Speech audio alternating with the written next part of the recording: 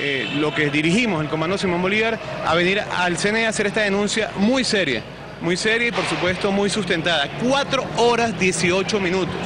Nosotros esperamos que, tal cual dice la presidenta del CNE, que asume o dice que va a haber un proceso imparcial, necesitamos imparcialidad desde ya. Necesitamos imparcialidad a el canal que se supone es de todos los venezolanos. No es posible que un canal oficial transmita y rompa con las leyes establecidas por pura desesperación. Nosotros queremos denunciarlo ante el país y es por eso que estamos hoy aquí ante el Consejo Nacional Electoral. Y no solamente eso, sino que se permite eh, la injerencia de extranjeros emitiendo información política en el canal del Estado. Esto fue después de las 3 de la tarde.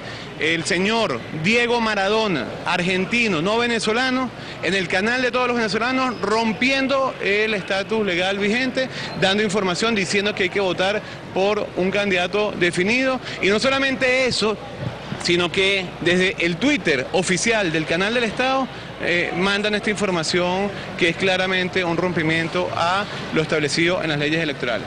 Nosotros le pedimos al Consejo Nacional Electoral, le exigimos al Consejo Nacional Electoral que de una vez por todas cese esta información en el canal del Estado porque es un rompimiento claro de lo que es la normativa legal vigente. Y a nuestro pueblo, esto nos da más armas, nos da más ganas de luchar, nos da más pasión, nos da más corazón por seguir esta lucha contra estos tipos de abusos.